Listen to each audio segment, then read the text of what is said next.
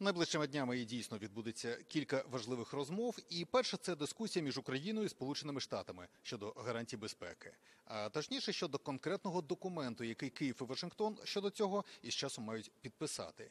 Е, Так, це лише старт розмови. Тому, як мені пояснили у державному департаменті, поки немає якихось визначених переговорних позицій, якогось чіткого переліку, наприклад, які гарантії просить Україна, чи що готова дати адміністрація Байдена. І перший раунд це консультації у держдепі, які вирішили провести онлайн, е, без того, щоб комусь летіти до Вашингтона, і на рівні заступників міністрів, тобто не буде перших осіб е, ще для цього зарано.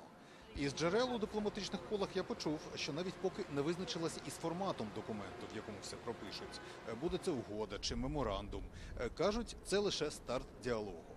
Ну і давайте послухаємо, як це офіційно коментують у держдепі.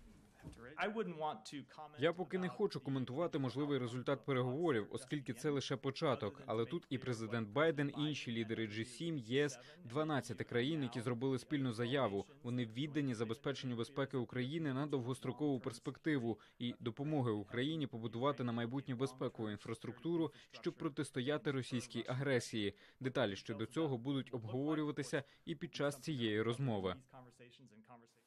Другий процес, який теж просто зараз починається, це боротьба за безперешкодне вивезення українського зерна, Е, тобто за те, щоб е, повернути стамбульську зернову угоду. Причому зверніть увагу, саме повернути.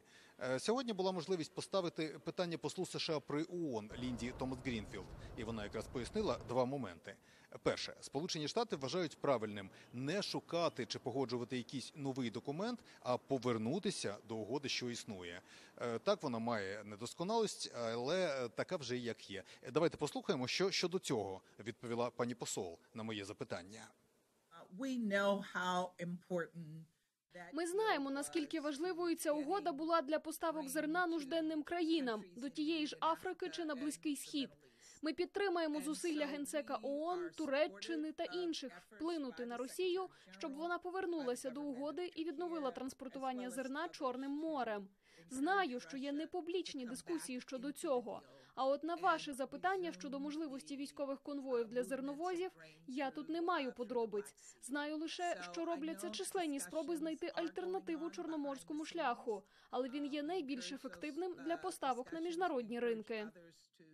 Ну а друге, давайте підсумуємо. Україна за допомоги партнерів дійсно налагоджуватиме зараз інші шляхи транспортування, але морський шлях все одно нічим не замінити. І тому штати не просто закликатимуть Росію повернутися чи засуджуватимуть її.